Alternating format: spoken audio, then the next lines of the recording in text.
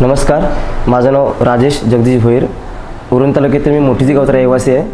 मी पायाने अपंग असून या ठिकाणी आमदार साहेब आमदार मनोहरशीर भोईर यांच्या वाढदिवसानिमित्त आमदार साहेबांना जो भत्ता मिळतो जो आमदार भत्ता असतो तो आमदार भत्ता त्यांच्या वाढदिवशी सर्व हजारो अपंगांना वाटप करून त्या वाटपामध्ये माझा एक हिस्सा आहे. मी त्या हिस्स त्याचा हिस्सेदार आहे आणि त्याचं एक मी एक साक्षीदार आहे.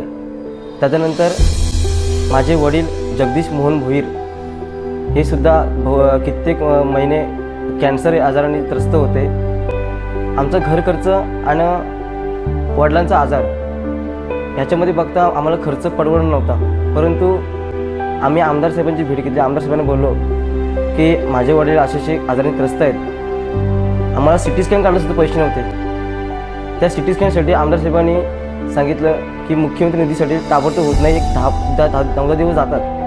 तर सी टी स्कॅनचा खर्च त्यांनी स्वतःनेच उचलला आणि आम्हाला वीस हजार रुपये आम्हाला त्यांनी स- साहेबांनी दिले. त्याच्यानंतर दीड लाख रुपये आमदार आपले मुख्यमंत्री निधीमधून आम्हाला दिले. तर अशा आमदाराचं मी खरंच मनपूर्वक आभार मानतो आणि असं माझ माझं मत अशाच कार्यसमोर आमदाराला जनसेवकाला माझं मत धनुष्यबाणला माझं मत मनोहर भोईरला